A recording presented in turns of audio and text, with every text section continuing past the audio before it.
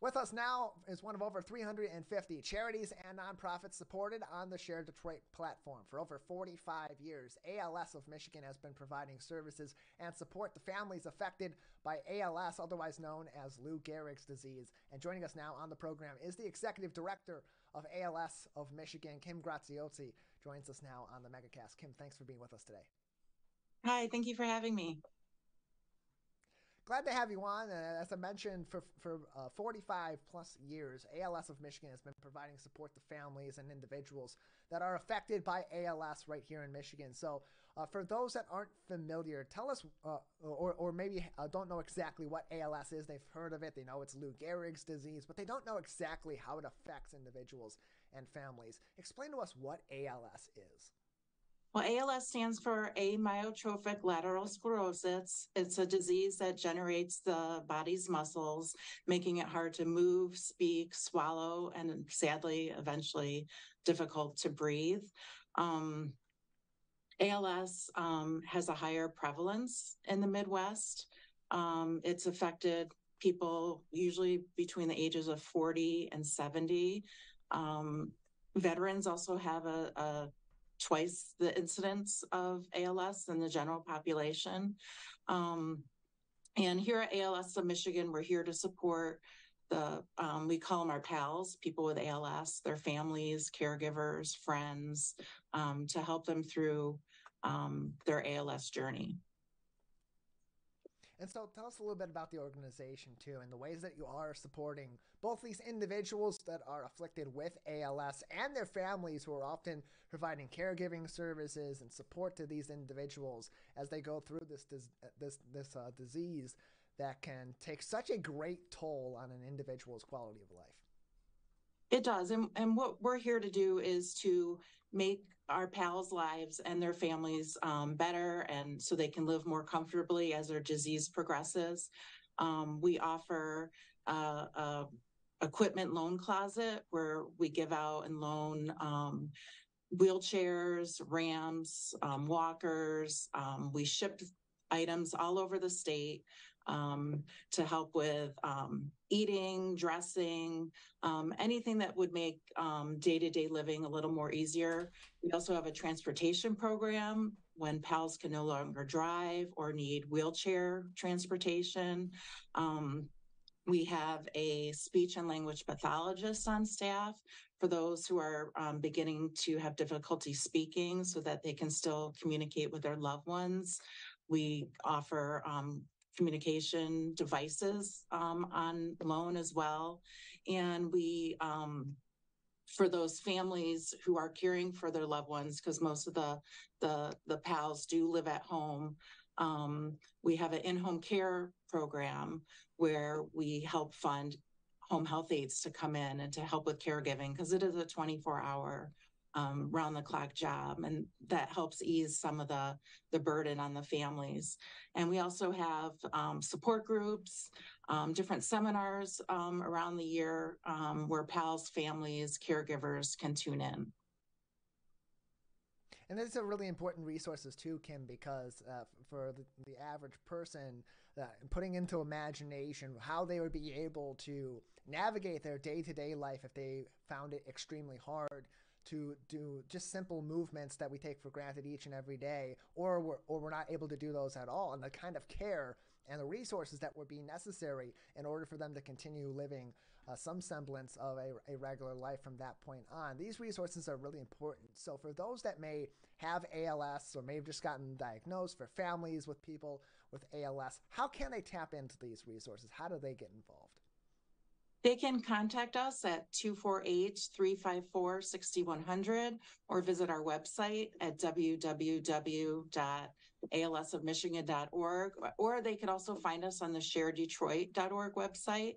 And all of our staff are here to support them. We serve the entire state, we have a very far reach.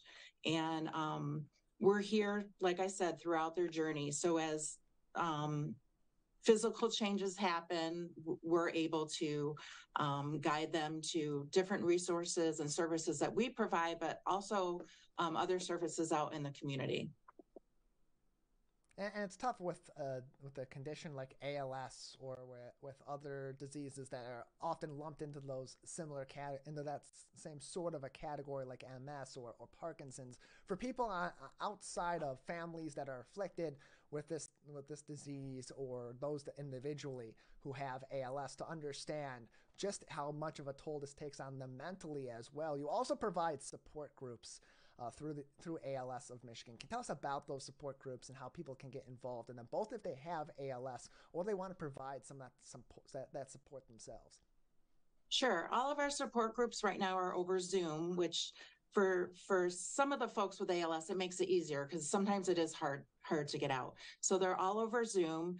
Um, we have support groups that are open to the PALs, the family members, and the caregivers.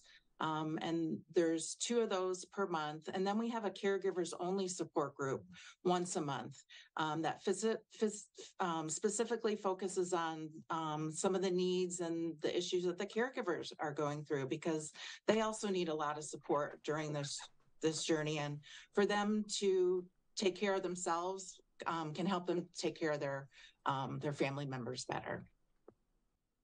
And a lot of that too involves having the information you need to know about resources that are available to you in the community to be able to uh, help you navigate a, a brave and, and, new way of life that you and or those uh, loved ones in your life are uh, are going to be embarking on. And so you also provide some free workshops and, and conferences as well. Can you tell us what those consist of and what sort of information people can obtain through these various workshops and other programs?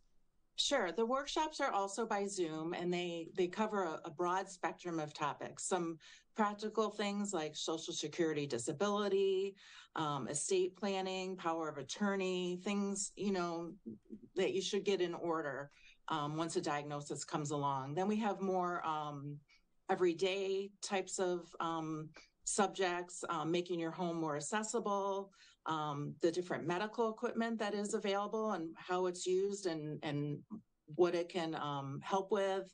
Um, and then things around um, how to find hope in the in the light of a deficit devastating diagnosis. Um, how to, like I mentioned before, self care for caregivers. How do you take care of yourself when you're busy taking care of someone else? Um, and how to cope with um, grief or impending loss. So, a broad spectrum of um, workshops. Um, they're all recorded and up on our website. So, it's they're on demand and available at any time. You can find more information on ALS of Michigan by visiting their website, alsofmichigan.org. That is alsofmichigan.org. Or find them in the Find a Nonprofit section on Share Detroit's website at, on sharedetroit.org, where they are one of over 350 charities and nonprofits supported on that platform that join us each and every week on the MegaCast. Joining us at the moment is Kim Graziosi, the Executive Director of ALS of Michigan, with us on today's edition of the MegaCast. In terms of ways that the public can get involved, whether they uh, have someone with MS in their families, or they've known someone with MS, or they just want to get involved and help people in need in our communities, how can people get involved with ALS of Michigan?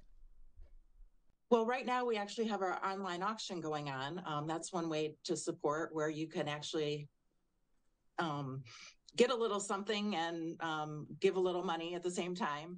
Um, if you go on our homepage, you'll see the link to the auction. We also have um, our walks in the fall um, in Lansing, um, Lansing, Midland, and two down here in Metro Detroit at Stony Creek and um, Kensington Metro Parks.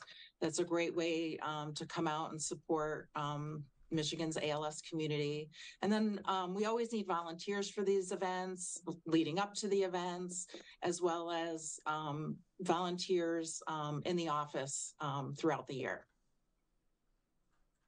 can find information on all the different volunteer opportunities, uh, some of the resources provided by ALS of Michigan, and other ways you can get involved and donate and support their programs and services as well at alsofmichigan.org or sharedetroit.org, which will also list some of these many different uh, volunteer opportunities uh, and ways that you can help this organization and over 350 others right here in the Metro Detroit area. Kim, uh, before uh, we let you go, uh, there's so much that is known about ALS, but for those that don't have somebody with ALS in their life, aren't seeing ALS affecting individuals nearby them every single day, what do you wish more people knew about ALS?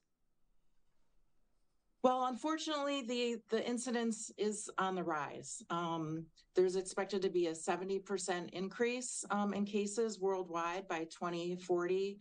Um, every 90 minutes right now, someone is being diagnosed with ALS. Um, and so, unfortunately, um, until there's a, a cure, um, cases will be on the rise. Um, and and until there is that cure, ALS of Michigan is going to be here supporting the um, ALS Michigan community. We are Michigan based. All our money stays here in the state to support our services and our residents with ALS.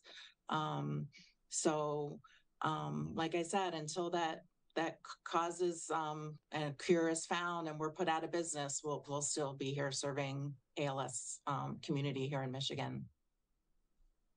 They have been serving families and individuals with ALS right here in the Great Lakes State since 1978. 45 years and counting of service. You can learn more information, ways that you can get involved and help ALS of Michigan on their website, alsofmichigan.org, or by visiting sharedetroit.org as well. Kim, thank you so much for joining us today.